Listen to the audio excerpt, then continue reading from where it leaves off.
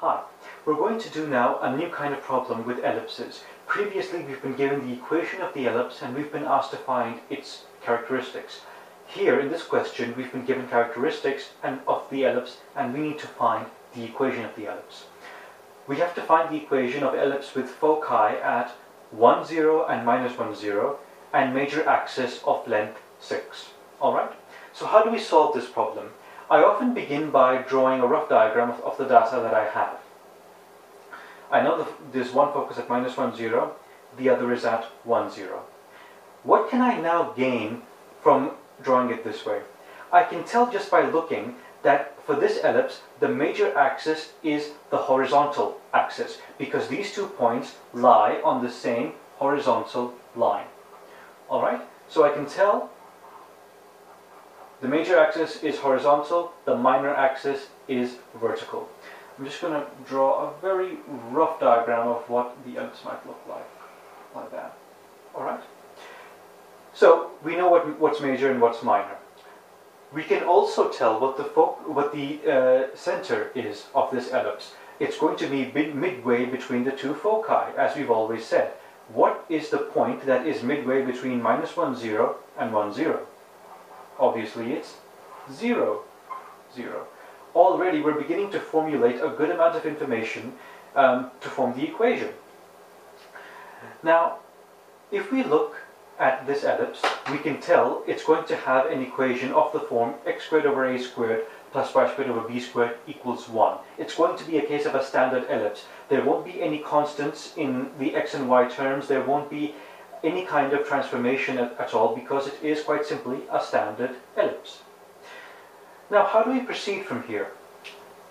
Now, if A represents half the length of the horizontal axis, which we know is, in this case, the major axis, 2A must be 6, and A is therefore 3.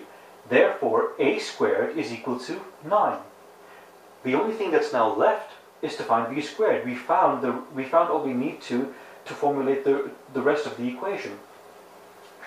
Now, how do we find b squared? Remember, we talked about this mathematical relation. b squared equals a squared times 1 minus e squared. And I stress again, b refers to half the length of the minor axis, a refers to half the length of the major axis. In these mathematical relations, b and a don't necessarily refer to specifically vertical or horizontal axes. They refer to major and minor axes. If we substitute the values we found, we find b squared is 9 times 1 minus e squared. Now we've got two unknowns here. We've got b and we've got e squared. But we can find e. We can find e because we know that this distance between the center and each focus is AE, where A refers to half the length of the major axis. This length is AE, this length is AE. We know that AE is 1 because this focus is 1 unit to the right of 0, 0. This focus is 1 unit left to, of the point 0, 0. Hence, AE is 1. We know that A is 3, so 3E must be 1, and E is therefore 1 over 3. By substituting the values of A and E in this equation, we find that B squared is equal to 8. And hence, we can now confidently write the equation as x squared over 9 plus y squared over 8 is equal to 1. As you can see, this is just using the knowledge that we have of ellipses and trying to uh, and trying to understand and discover what the other features would be of the ellipse given the data that we have. We're going to do one more question like this. Thank you for listening.